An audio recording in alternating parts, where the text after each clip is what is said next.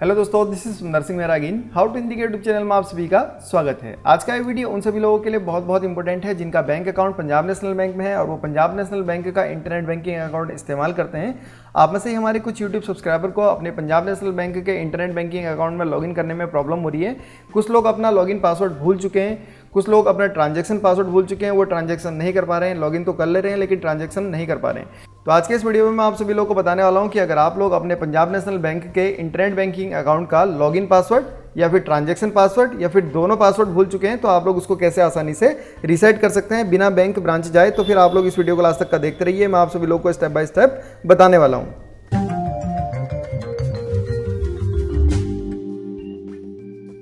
तो यहाँ पर देखिए, सबसे पहले आप लोगों को करना क्या है, आप लोगों को पंजाब नेशनल बैंक की ऑफिशियल इंटरनेट बैंकिंग वेबसाइट में आ जाना है, जो कि है net P N B dot com इसका भी लिंक मैं आप सभी लोगों को वीडियो के डिस्क्रिप्शन में दे रहा हूँ, आप लोग वहाँ पर से क्लिक कर इस वेबसाइट पर आ जाइए। उसके बाद आप लोगों को यहाँ पर से रिटेल इंटरनेट बैंकिंग को सेलेक्ट करना होगा, अगर आप लोगों का सेविंग अकाउंट है, आप लोग इसको सेलेक्ट कर लीजिए, और जैसे आप लोग यहाँ पर से इसको सेलेक्ट करेंगे तो उसके बाद यहाँ पर से देखिए, आप लोगों के पास एक ऑप्शन आता है यूज़र आईडी एंटर करने के लिए। तो आप लोगों को यहाँ पर से जो भी आप लोगों की यूज़र आईडी है, आप लोग उसको यहाँ पर एंटर कर दीजिए।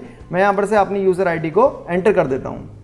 जैसे ही आप लोग अपनी यूज़र आईडी को एंटर करेंगे, उसके बाद आप लोगों के पास यहाँ पर एक ऑप्शन आता है कंटिन्यू का। आप लोग यहाँ पर से कंटिन्यू पे क्लिक कर लीजिए। कंटिन्यू पे क्लिक करने के बाद यहाँ पर से देखिए, आप लोगों के पास एक ऑप्शन आता है फॉरगेट पासवर्ड का। तो सबसे पहले आप लोगों को अपना यूज़र नेम डाल के कंटिन्यू करना है, उसके बाद फॉरगेट पासवर्ड में क्लिक करना है।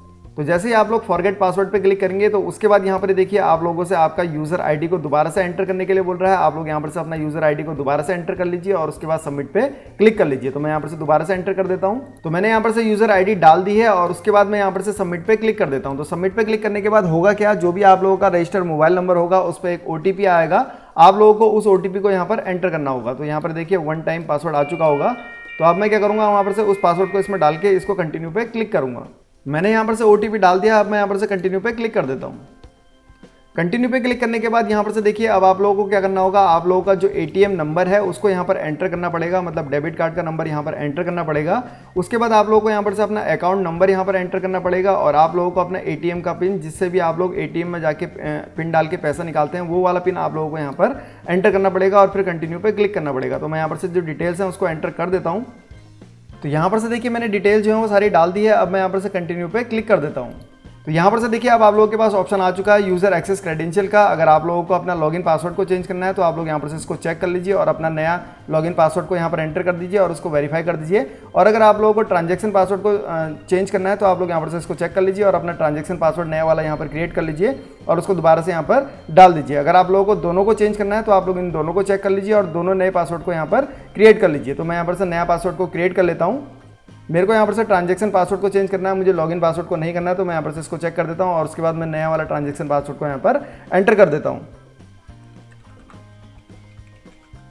तो यहाँ पर से देखिए मैंने पासवर्ड जो है उसको एंटर कर दिया है और पासवर्ड को एंटर करने से पहले आप लोग यहाँ पर से पढ़ लीजिए कि आप लोगों को पासवर्ड में क्या क्या एंटर करना है और क्या क्या नहीं करना है। तो आप लोग इसके हिसाब से अपना पासवर्ड जो है उसको बना लीजिए, मैंने बना लिया है। अगर आप लोग एग्ज़ाम्पल पासवर्ड देखना चाहते हैं तो वो भी आप लोगों को स्क्रीन में यहाँ पर दिख जाएगा। अब मैं यहाँ पर से कंटिन्यू पर क्लिक कर देता हूँ। तो उसके बाद यहाँ पर से देखिए, हमारे पास एक मैसेज आ चुका है जिसमें लिखा हुआ है पासवर्ड चेंज सक्सेसफुली मतलब हमारा जो पासवर्ड है ट्रांजेक्शन पासवर्ड वो सक्सेसफुली चेंज हो चुका है। ऐसे करके आप लोग अपना लॉगिन पासवर्ड चेंज करना चाहें तो लॉगिन पासवर्ड चेंज कर सकते हैं और ट्रांजेक्शन पासवर्ड चेंज करना चाहें तो अपना ट्रांजेक्शन पासवर्ड को भी आसानी से चेंज कर सकते हैं, घर बैठे बिना बैंक ब्रांच जाए। तो अगर आप लोगों को वीडियो अच्छा लगा और आपके काम आया तो यहाँ पर लाइक बटन में क्लिक करके इसको ज़रूर लाइक कीजिए और कमेंट बॉक्स में मुझे लिख के बताइए कि आपको वीडियो कैसा लगा। और अगर आपके कोई सवाल या फिर सुझाव है तो भी आप मुझे नीचे कमेंट बॉक्स में लिखकर पूछ सकते हैं या फिर बता सकते हैं। और अगर आप लोगों ने अभी तक का हमारे how to Hindi YouTube channel को सब्सक्राइब नहीं किया तो यहाँ पर लाल रंग के बटन में क्लिक करके इसको सब्सक्राइब कर लीजिए। जैसे आप लोग इसको सब्सक्राइब कर लेंगे, अगर आप लोग इस घंटी के बटन को दबाएँगे तो आप लोगों के पास नोटिफिकेशन आ जाएगा हमारे नए वीडियो का। और फिर आप लोग उस वीडियो को सबसे पहले देख सकते हैं। तो आप लोग यहाँ पर से घंटी के बटन को ज़रूर से प्रेस कर लें। Thank you for watching bye take care देखते रहिए, सीखते रहिए हाउ टू हिंदी